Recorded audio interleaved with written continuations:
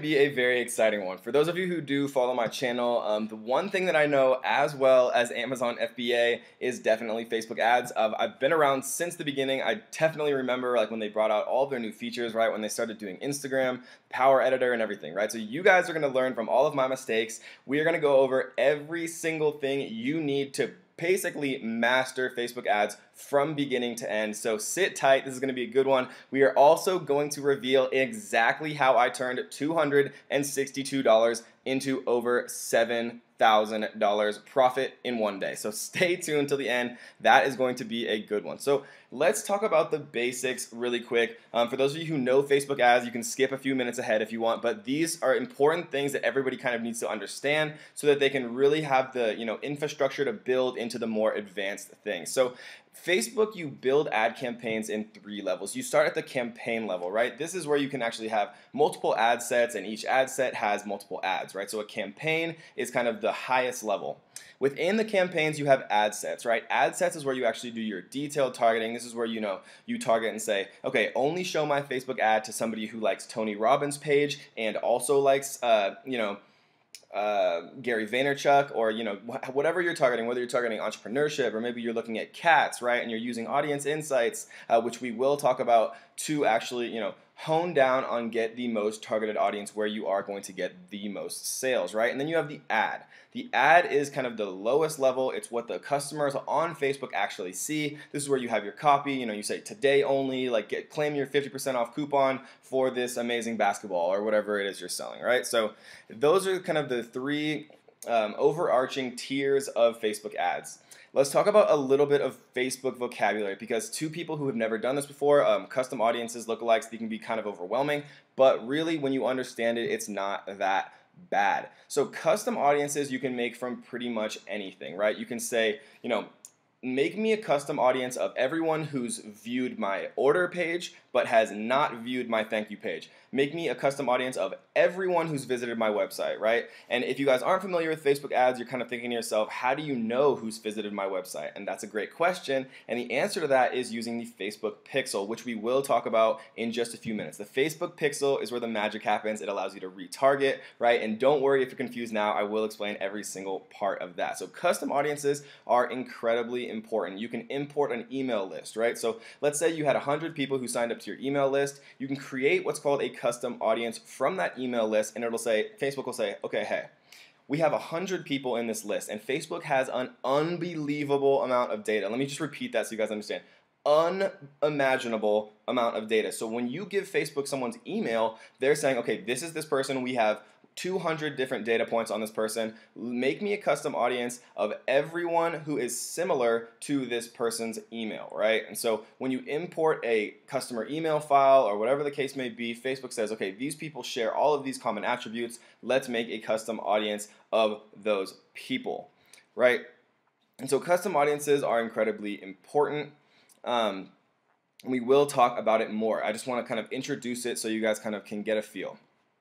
Lookalike audiences are really where Facebook Facebook's algorithms and data stores start to shine. So lookalike audiences you can create. Um, you know, let's say you have somebody who likes your page. Let's say you create a Facebook fan page for your amazing, you know, cat jewelry, or if you're an entrepreneur and people are liking your own page, right? Once you have enough people who like your page, you can create what's called a lookalike audience of those people who like your page. So let's say I have a thousand people who like my page. You need a hundred at least from a country to create what's called a lookalike audience. But the more people you have, the more accurate Facebook is able to create that audience, right? So let's say I have a hundred people who like my page, all from the USA.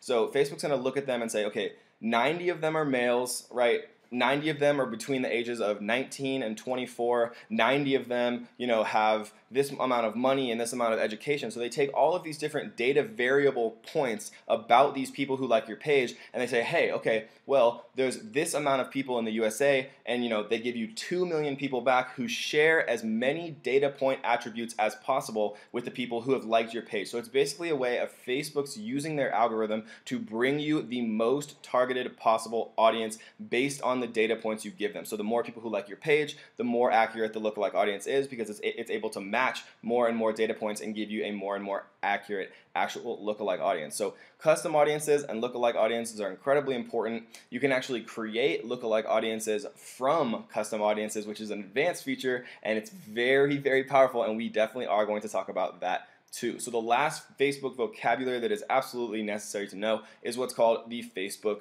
pixel. So the Facebook pixel it sounds complicated, but please trust me, it's actually not. Think about the Facebook pixel as an identifier right? And so have you ever kind of been browsing on the internet and you've seen, you know, let's say you're looking at some uh, camping equipment on like a Shopify website or which is, you know, you just kind of cruising through the cruising through the web.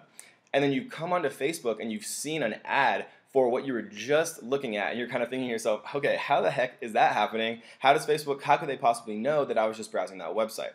The way that they know is called the Facebook pixel. So it's basically a piece of code that you get from your Facebook ad account that you put, you know, in the background of your website and then whenever somebody visits your website, if they are a Facebook user, Facebook will say, hey, you know, Kevin from Oregon visited your website. You know, this is what we know about him, right? So if you want to retarget Kevin on Facebook using Facebook ads, we know that he's visited your website, so why not retarget him? Because you know any advertiser who knows anything knows that retargeting is where the magic happens. Retargeting is where you actually start to make the money, right? And so it's not anything fancy, but using Facebook Pixels is absolutely pivotal to mastering Facebook ads, so do not ignore it, right? And we will talk about a little bit more of advanced features, which is called um, events right? So with the Facebook Pixel, you have what's called event codes. So let's say that you have a Shopify website or some type of e-commerce website.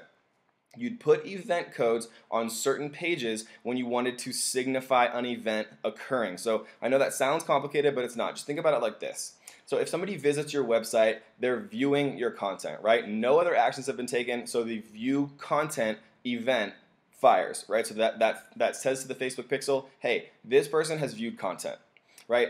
And then you, you also add, right, an add to cart event. So then you know if this person also viewed content, they also added to cart. So you can start to target people even, even closer, right? And then let's say you have 100 people who fired the purchase event pixel, right? Then all of a sudden you have 100 people who have purchased, and then from those 100 people, you can create a lookalike audience or a conversion campaign, right? Targeting people who share similarities and traits with the people who purchased your product. So it starts to get really exciting. I think you guys are probably starting to understand how you can kind of, you know, use this magic and art in a very, you know, thought out, eloquent way to retarget people in a very succinct way where you're not wasting money on cold traffic, right? You're retargeting people you know are interested, and then you're creating custom and lookalike audiences based on that data right? So let's kick it off. So um, this is one of my ad accounts, right?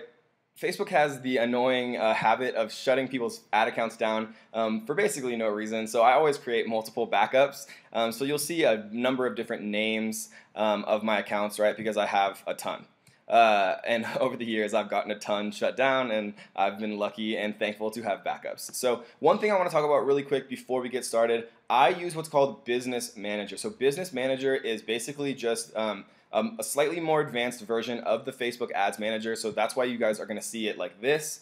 Um, it's in my actual one of my business names.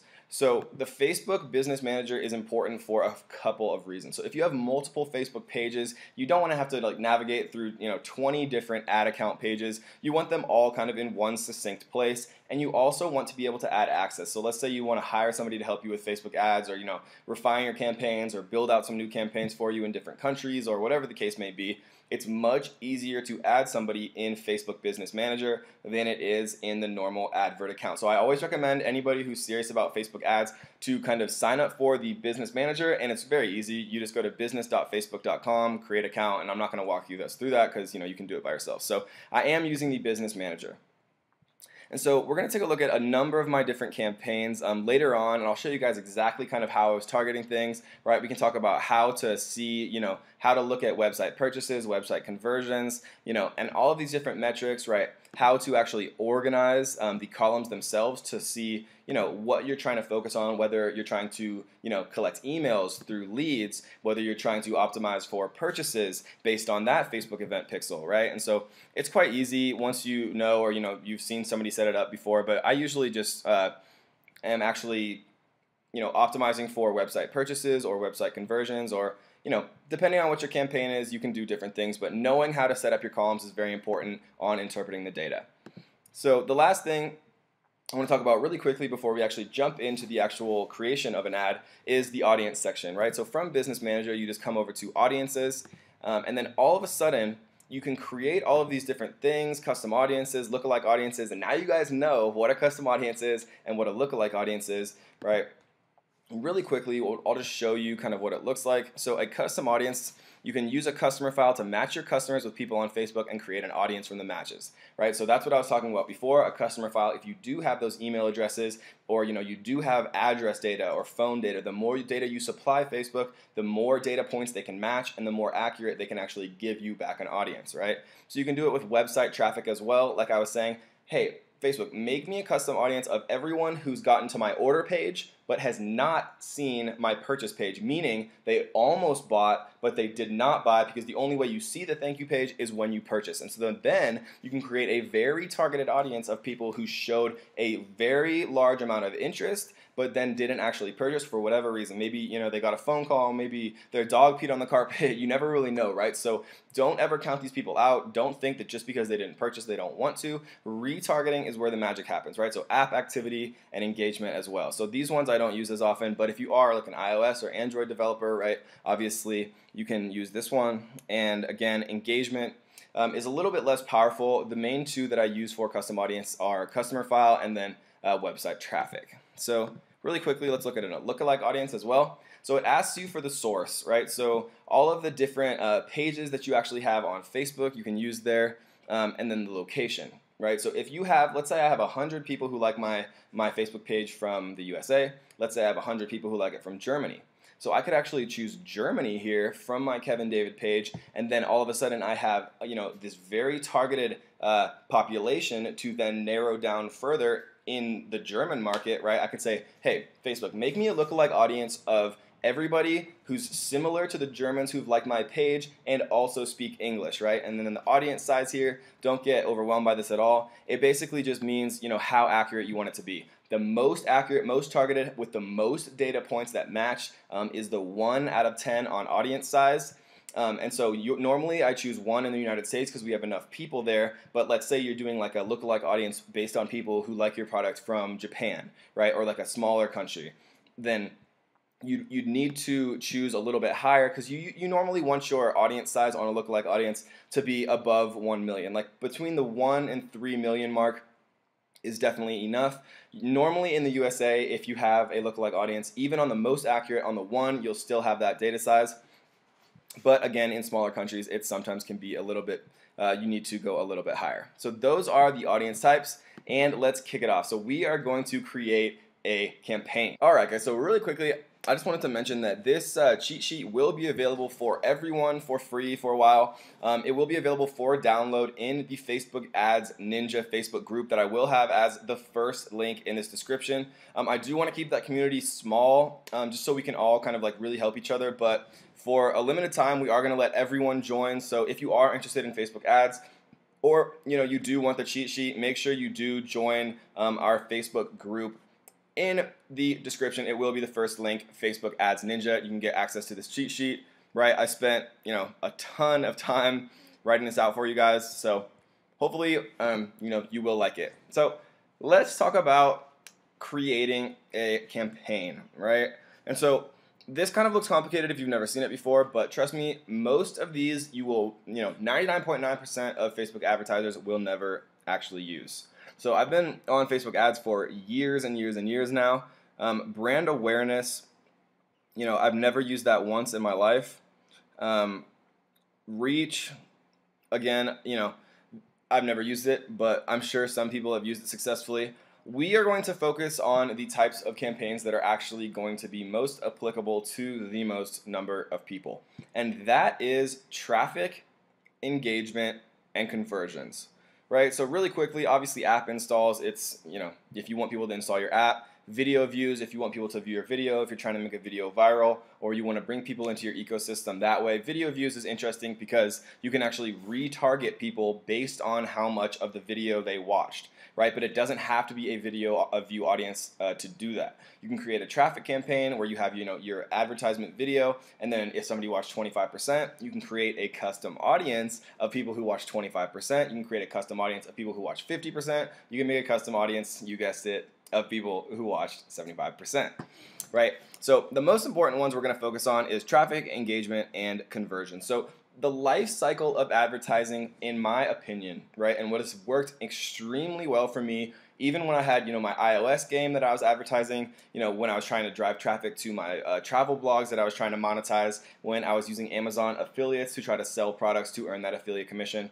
It's always worked for me, um, and it does work extremely well. It's important to understand why, right? So the the first part of the ad lifecycle is engagement think about your when you see an ad yourself on Facebook and what make gives it instant credibility, right? So social proof is extremely extremely important when you are advertising on Facebook, when you're selling a product, when you're selling a service. It doesn't matter what it is, people like reviews, right? It's just like Amazon. When you're buying a product on Amazon, you would you rather buy a product that has 100